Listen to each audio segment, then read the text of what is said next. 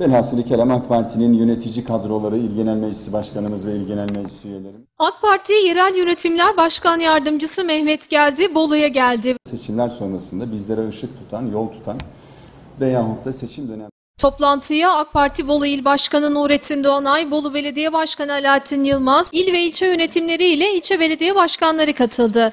Velhasılı kelam AK Parti'nin yönetici kadroları, İl Genel Meclisi Başkanımız ve İl Genel Meclis üyelerimiz seçimler sonrasında bizlere ışık tutan, yol tutan Partisinin Bolu İl Başkanlığı'nda düzenlenen AK Parti Yerel Yönetimler İstişare ve Değerlendirme toplantısına katılan AK Parti Yerel Yönetimler Başkan Yardımcısı Mehmet Geldi, 24 Haziran seçimlerini değerlendirmek üzere her bölgede istişare toplantıları düzenlediklerini anımsattı ve derdimiz 31 Mart 2019'da yapılacak seçimlerde hem daha üst başarıya yakalamak hem de güzel hizmetler sunmak dedi.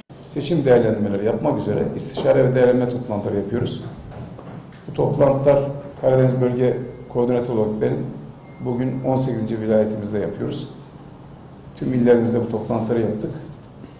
Ee, diğer başkan yardımcılarımız aynı şekilde kendi sorumluluk bölgelerinde toplantılar yapıyorlar.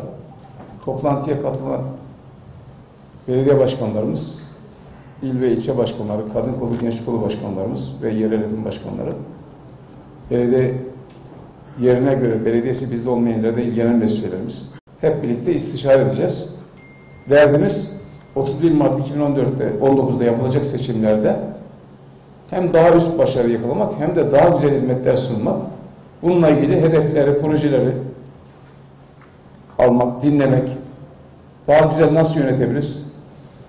Cumhurbaşkanlığı hükümet sistemine geçtikten sonra yeni Türkiye'de belediye olarak daha güzel neleri nasıl inşa ederse müzakere etmek, onunla ilgili altyapı çalışmaları için istişarede bulunmak üzere bir araya